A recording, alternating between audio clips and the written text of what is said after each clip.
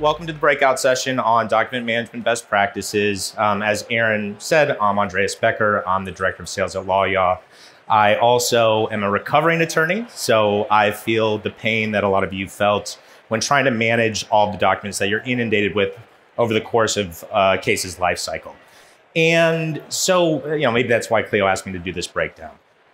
The goal of this session is just to touch on a couple of areas where we can try and save you time throughout the course of the day and what you do at that time, whether you want to make more money, spend more time with family. Don't really care. It's just like there are a lot of, you know, I, I work in the LawYaw component, but I work with tons of Clio customers.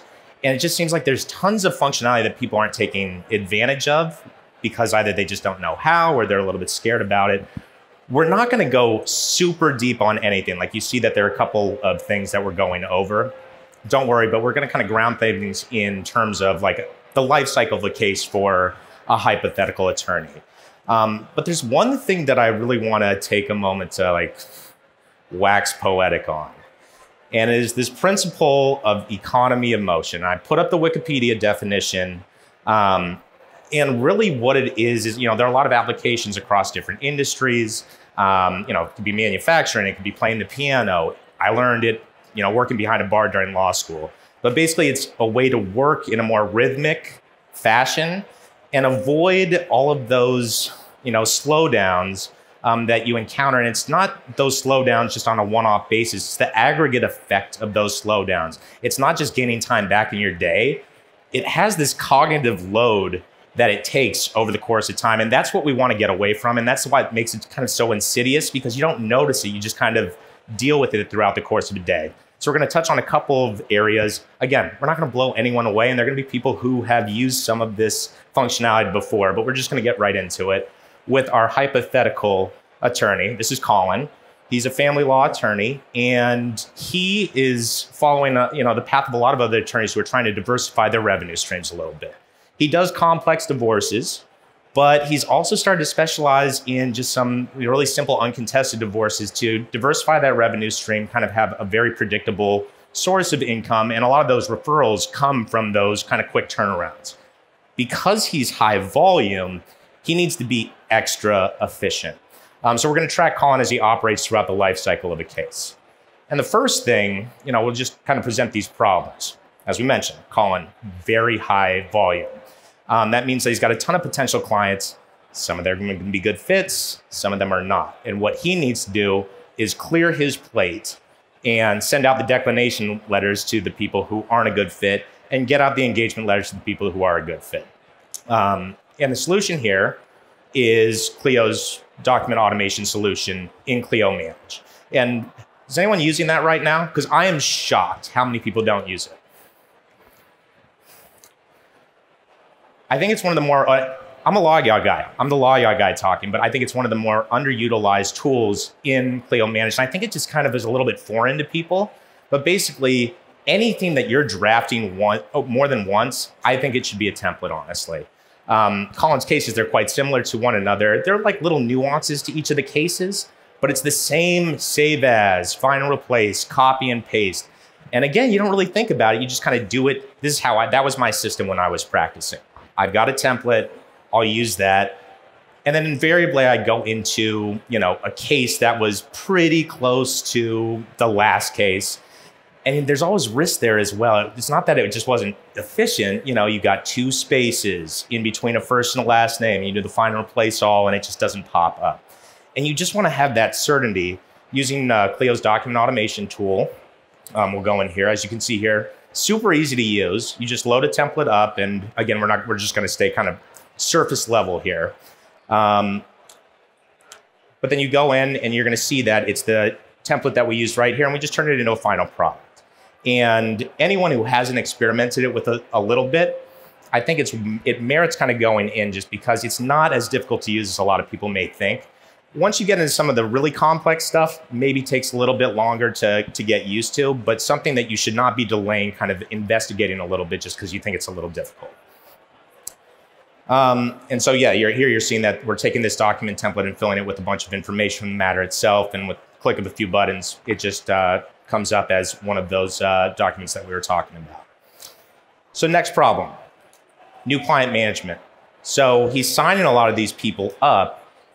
One of the biggest uh, impediments to you know him turning over these cases is getting documents from his client. And it's not just getting documents from his client; it's actually kind of setting expectations.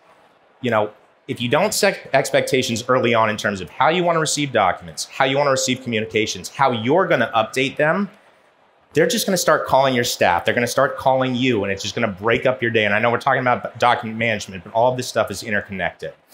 And so Colin needs a way to really streamline the process of collecting information, collecting documents from his client, and making sure that they know where to get updates and they're not kind of like bugging his team.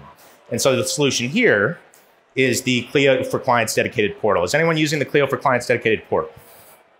Okay. Wow, more people using the dedicated.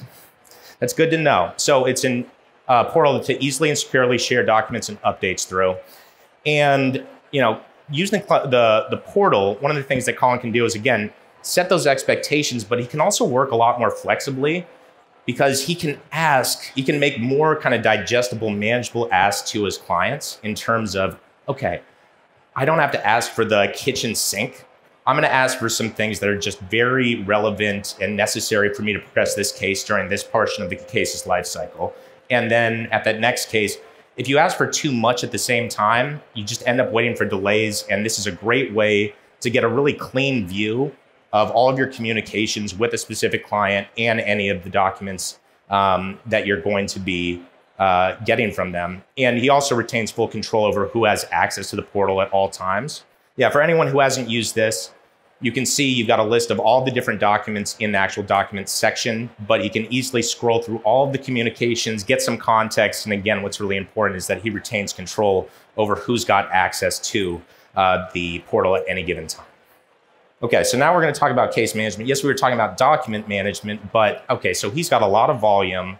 And at any given time, he's going to be working on something and the phone's going to ring, or there's an email that comes in and it's a fire drill. And he needs to be able to quickly zoom in and zoom out of any specific case and kind of go into a, you know, a document that's being asked about. And he doesn't want to interrupt his flow, nor does he want to interrupt his team's flow. And the solution here is Clio's desktop app. Who's using the desktop app? Okay. Um, for anyone who's not using the Clio desktop app, download the Clio desktop app and use it, or at least try it out. Because basically it allows you to seamlessly access, create, edit, and share your client files directly from within the desktop. And for a lot of people, you know, they may say, okay, maybe this isn't a big deal, honestly. Like if I'm in Clio Manage, it's easy enough to access my documents. But it's really, really helpful when you don't want to, net, you're working on something really important in Clio Manage and you don't want to navigate away from it. So you can see here, yeah, it's easy enough to get to my client documents if I need to, my uh, documents in my manage account. But let's say I'm working on a bill and I don't want to switch gears. All I have to do is open up the Clio, uh, the Clio desktop app, and I can access those. Oh, pardon me, let me go back. Is that working? Yeah, perfect. And you're just not interrupting your flow. And again, this, this seems like a small little thing, but over the course of a day, over the course of a week, over the, the number of times that you do this, the more that you can just stay focused on the task at hand and not kind of interrupt your flow for something that's just super easy and like readily available. So again, it's another thing that you're going to want to investigate for everyone who didn't raise their hand. Okay, who was here for the previous presentation? Okay, we're going to get into uh, something else. Another problem. Yes, we talked about document drafting. Again, Clio's document drafting tool super, super helpful and very, you know, easily available in the Clio uh, Manage um, UI. But Colin needs to use some, you know, standardized PDFs. He also has some more complex Microsoft Word documents. He also has like a certain set that he wants to order. And you heard anyone who was here, uh, Tucker, talking about document automation, the sets that you can set up. And so our solution here is Lawyaw's document automation tool. Um, as uh, Tucker mentioned for everyone who was here, you know, it's kind of an advanced version of Clio's tool, a dedicated uh, Microsoft or Microsoft Word document automation tool with uh, hosted court forms in them, up to date. Uh, we just released all 50 states now. And so they're up to date and it's easy for Colin to go in, kind of build out these sets. Yeah, so you can build out sets you're seeing some of the libraries that we have, but again, we have all 50 plus the uh, USCIS immigration forms. And you can build out these sets and easily draft them. Um, you can view what the template is. You can see there's like conditional logic in there. So one of the things that I see with uh, Clio's template templating tool, which is great um, on most fronts, but like because there's a lack of conditional logic, you end up having a lot of different versions of the same template over and over again to account for, you know, is this he or she or they? And it's fine, except it's a little bit hard to navigate. And then when it comes time to actually update those documents, you're having to update seven, eight, nine different versions of them. And that's the slowdown. I mean, that's what I just consistently hear. So our tool is a great way to build out more modular templates. So if there's an update, if you want to, you know, change some things around, you're only having to do that to one template, hopefully. Um, and the other thing you can see here, um, it's got like this nice guided workflow.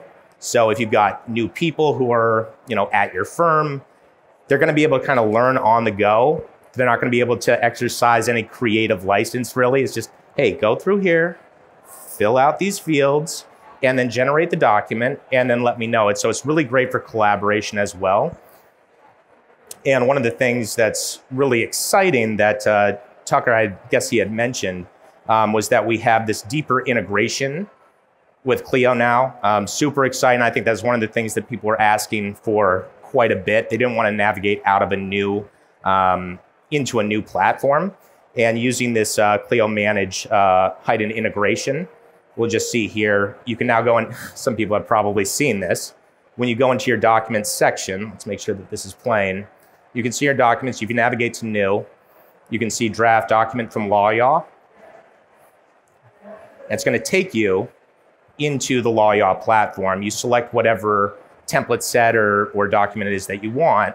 And you're gonna see when you generate it, now we have this save to Clio button.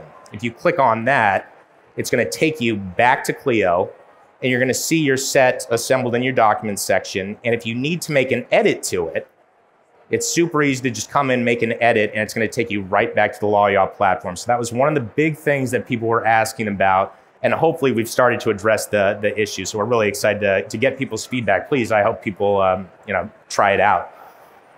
And I guess the last thing that we have uh, is obtaining signatures, yeah, it's kind of a sterile subject. Hopefully everyone's using an e-sign tool of some sort. You've got a lot of different options with Clio. You can use Clio Grow. You can use Clio Manage. You can use LawYaw. Um, but make sure that you're using something. Again, this is not a presentation that was going to blow anyone away, but I am shocked when I hear that people are not using an e-sign tool. It's free to you in Clio Manage. If anyone has not used Clio Manage's uh, e-sign tool, here, just take a look at this video. You go in, you open it up, and it should be opening up quickly. And super easy to drop in um, the e-signatures. And um, I'm almost at time, but I did want to point out that we have some additional resources. Obviously, we have the uh, product lab and the success center. So success center, product lab. I'm to be over in um, that section over there. And then also, uh, I think uh, Tucker had mentioned that uh, Joe Krasowski, he's like our template architect. He's going to be doing a deep dive, not just on LawYaw, but on Microsoft Word in general. He does some pretty cool things with it. That's going to be at 1:15 tomorrow. Um, I believe it's right here. Um, so with that, I just want to thank everyone. I hope everyone has a great time at ClioCon. Um, and let me know if you have any questions. I know we didn't go super deep, but I'm happy to go a little bit deeper um, offline.